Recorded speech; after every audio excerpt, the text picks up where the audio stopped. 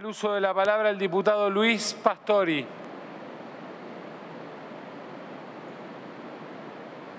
Sí, muchas gracias, señor presidente.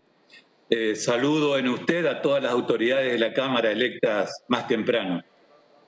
Quiero fundar mi postura en contra de la aprobación del proyecto de interrupción voluntaria del embarazo del mismo modo en que me tocara votar durante el debate del año 2018. Eh, sin entrar en las consideraciones de las particularidades del proyecto, que en verdad no importan tanto porque ceden ante el tratamiento del fondo de la cuestión, que es nada más ni nada menos que el derecho a la vida.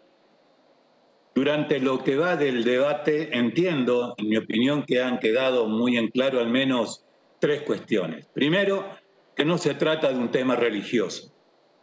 Eh, durante la exposición en comisión, recuerdo al padre Pepe citando a Francisco cuando dijo que este debate no trata sobre un tema que sea esencialmente religioso, no lo es.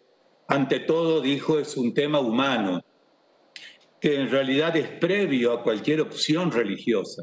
Lo comparto plenamente. Segundo, que es una cuestión científica, demostrada experimentalmente que la vida humana comienza con la fecundación. Y no quiero volver a cargar las tintas sobre el triste papel del ministro de Salud y su desgraciada definición sobre el embrión. Lo desmiente al ministro la Academia Nacional de Medicina. Y créame, presidente, que entre Ginés y la Academia Nacional me quedo con esta última, que dice que no se trata de un argumento metafísico, ni siquiera de una hipótesis teológica. En la tercera semana del embarazo ya está diseñado el organismo y late el corazón late el corazón. Eh, lo expresó en forma muy sentida eh, muchas horas antes ya el diputado Angelini. Tercero, que esto no se puede justificar diciendo que es para los más pobres.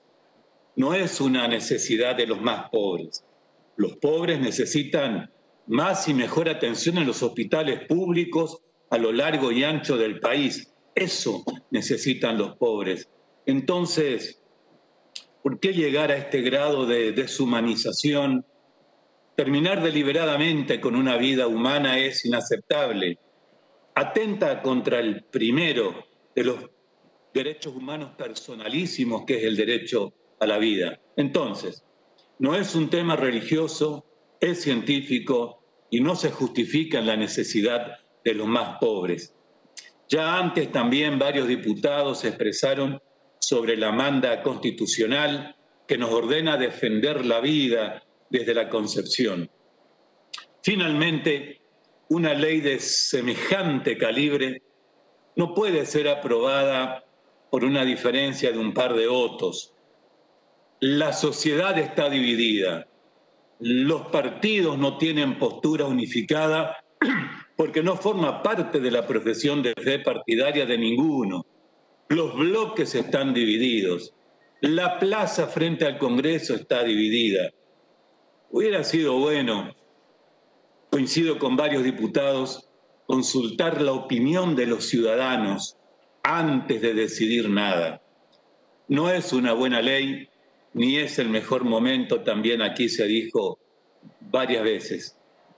Quiero terminar con las palabras volviendo al sacerdote Di Paola, cuando nos pidió a los diputados durante su exposición en la comisión que no nos coloquemos en el lugar de Dios, que dejemos que la ciencia hable seriamente, que gobernemos para los pobres y no para las élites capitalistas ilustradas, supuestamente progresistas, que hagamos entre todos un país donde se ame la vida, por eso, presidente, respetando a quienes piensan distinto, pero fundamentalmente respetando a muchos misioneros que a lo largo y ancho de la Tierra Colorada nos han venido pidiendo que votemos a conciencia varios municipios que han sido declarados pro vida en nuestra provincia por todos estos motivos que he expresado, señor presidente, voto a conciencia para que no sea ley. Muchas gracias. Gracias, diputado.